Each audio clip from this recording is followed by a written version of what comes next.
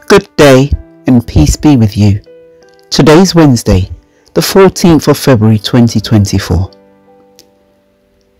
Let us pray. Father Lord, we thank you that you have granted us another day today. We thank you for your love and mercy. We thank you for the grace that you have bestowed upon us, and we thank you for your kindness.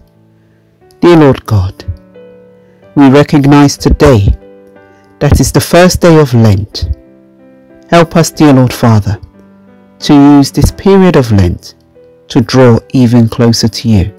In Jesus' name we pray. Amen.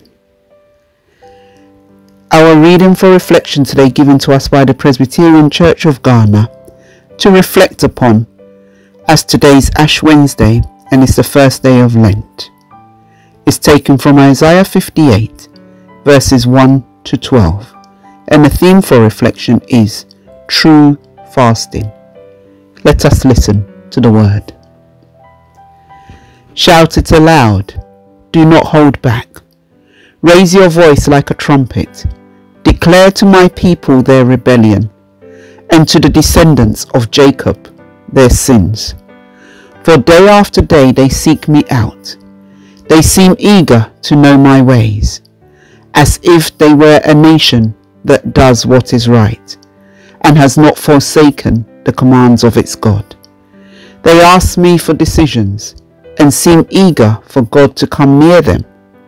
Why have we fasted, they say, and you have not seen it? Why have we humbled ourselves, and you have not noticed? Yet on the day of your fasting, you do as you please and exploit all your workers.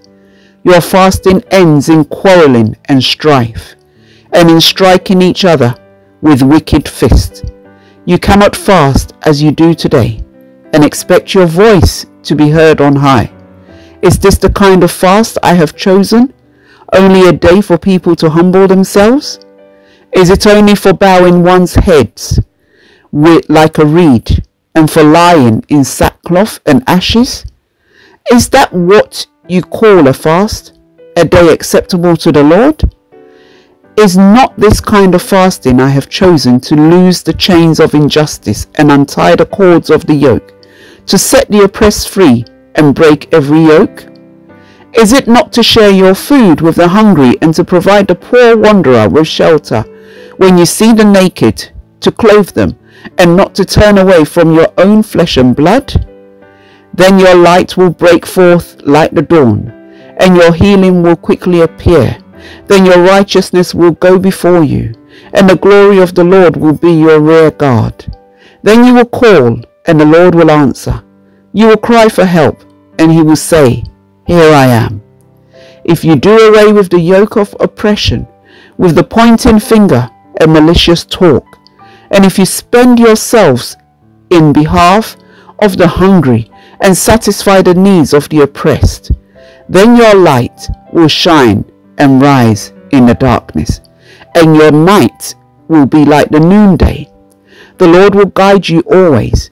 He will satisfy your needs in a sun-scorched land and will strengthen your frame. You will be like a well-watered garden, like a spring whose waters never fail. Your people will rebuild the ancient ruins and will raise up the age-old foundations. You will be called repairer of broken walls, restorer of streets with dwellings. Here ends our reading for today. Thanks be to God. And remember to share the good news with others. Help others get closer to God by knowing the word for themselves. Have a blessed day.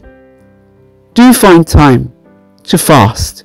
And at the same time as you're fasting, pray. It's all about doing what you can do to get closer to God. Amen.